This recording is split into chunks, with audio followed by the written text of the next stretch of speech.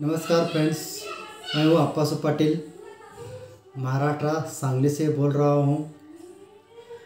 मैंने अभी अभी रोहन सर से एनिसन मैग्नेटिज्म के ग्रैंड मास्टर का कोर्स कंप्लीट किया है।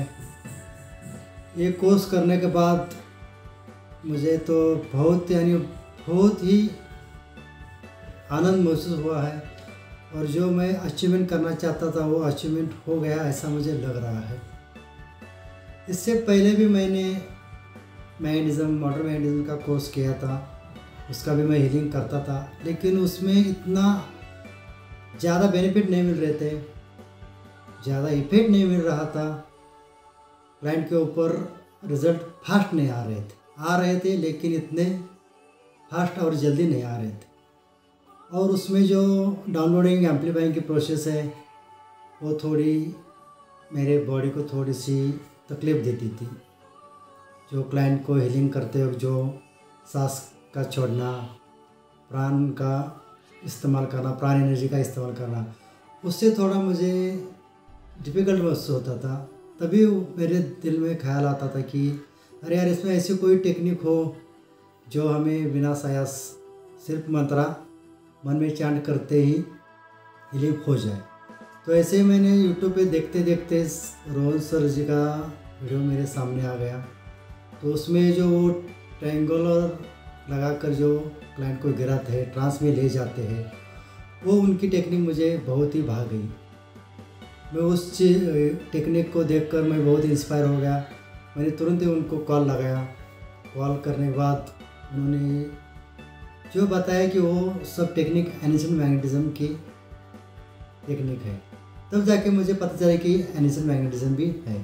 तो मैंने उनसे पूछा क्या क्या है? वो सब उन्होंने डिटेल में बता दिया और मैंने उनसे क्लास ज्वाइन किया।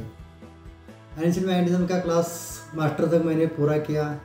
वो क्लास करने के बाद, वो कोर्स पूरा करने के बाद, जान, मानो मेरे पूरा में ट्रांसफॉर्म हो गया।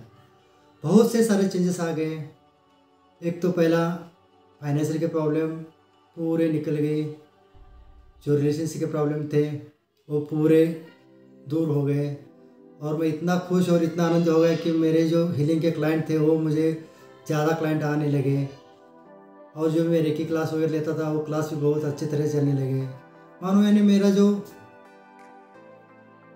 फाइनेंशियल के प्रॉब्लम या फाइनेंशियल की ग्रोथ थी, वो पहले से ज़्यादा दुख नमस्कार, मैं विक्रांत कुमार राय फॉर्म बिहार मैं रोहन सर से मैग्नेटिज्म का कोर्स किया और मैं बहुत संतुष्ट हूँ और मेरे हर तरफ़ से प्रॉस्पेरिटी एबंडेंस मनी प्रॉब्लम ये सब धीरे धीरे खत्म हो रहे हैं।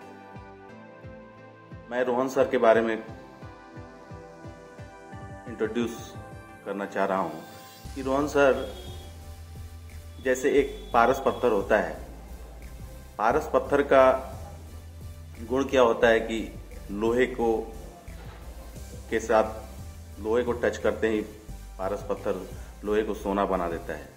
लेकिन हमारे रोहन सर ऐसे पारस पत्थर हैं जो कि किसी स्टूडेंट को टच करके लोहे से सोना नहीं बनाते, पारस से पारस में ही कन्वर्ट कर देते हैं।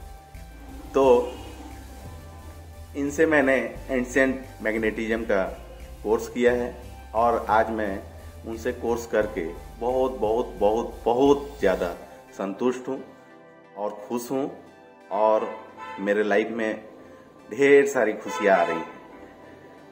मेरा लाइफ धीरे धीरे धीरे धीरे अच्छा होते जा रहा है।